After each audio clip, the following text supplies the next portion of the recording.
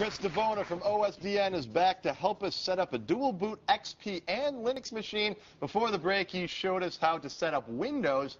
Now we're going to get Linux up Yep. and running, correct?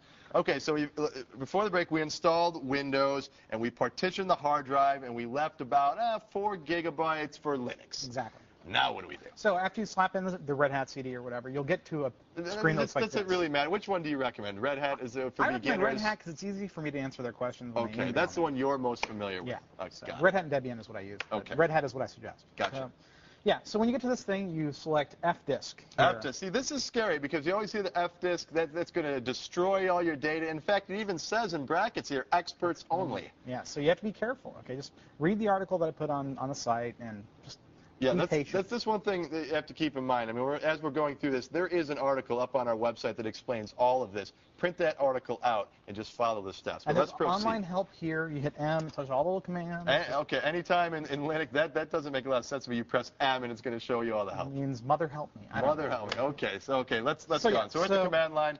Now what do we do? So now you just press P, which prints He out shows us the partition table as it is Okay. right now. Um, so what we're going to do is we're going to first create a new partition, Okay. Uh, which is N, sorry, and then primary partition. We're going to create partition number two. Okay, because we Okay. already got partition one for Windows. Now we're going to create partition two for Linux. Got it. Uh, and so we just choose a default for the first cylinder. Cylinder, that's just a measure of hard Yeah. drive space. So for instance, this is like a, I guess, a 20 gig drive, and it's got 2,500 cylinders. So you can do the math in your mind or just not care. You don't care. Let's just So- go with the default. Right.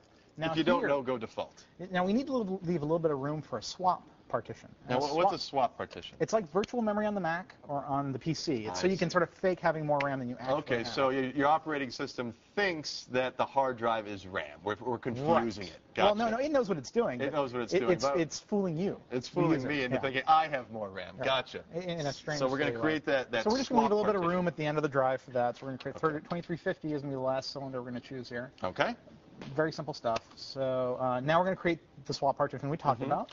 Primary partition, partition number three. And there's three wait. partitions. Three primary, like so. And then we just hit return, return, first and last cylinder. You know, just take the default values. Okay. Now here's the tricky part. So if you'll notice here, there's this little asterisk here next to uh, temp HDA1 All right. underneath boot. That means that's the active partition.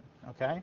So that's the first one it goes to when you turn on the computer. Okay. Okay. So what we want to do is we want to take it off that, So right now, the active partition, the one that's going to be recognized when we boot up is Windows. which we don't want. We don't want that. Because Okay. Windows doesn't know Linux exists Okay. and doesn't want to know. All right, it's trying to ignore the presence Yes. of Linux La, on la, the la, hard la, drive. la, there's no Linux here. Right. So let's set it so that uh, Linux is the primary partition. Right. So what we're going to do is we're going to make the second partition active, Mm-hmm.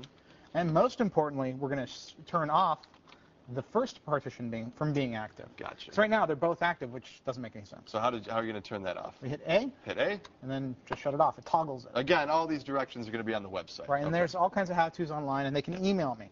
Okay. And then you just write it to disk by hitting W and return, Mhm. and then you continue as you normally would. As we normally would, as if we're installing any operating system, correct? Is that Actually, it's easier to install Linux than Windows. You say it's easier to install Linux than Windows. It is.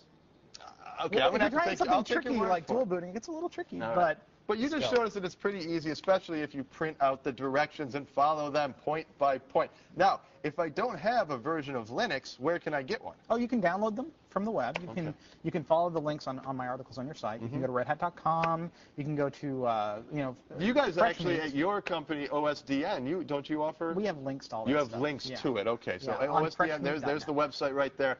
Go there, and it will lead you in the direction of Right. whatever Linux distributions you want. So Exactly. you can do this, and also you always make yourself available to our viewers to email you Yes. if they run into any problems. And what's your email address? Uh, it's Chris at osdn.com. and we very much appreciate your making yourself no problem. And I have a available to do that. backup with all kinds of links to everywhere. You know, I've, I I get a lot of the same questions. So All right. It's all there for you. Excellent. Chris, thank you, as always, for coming in for the quick and easy steps you've got to follow to get your dual boot PC up and running. Check out Chris's article at thescreensavers.com. Like I said, print out a copy before you do this.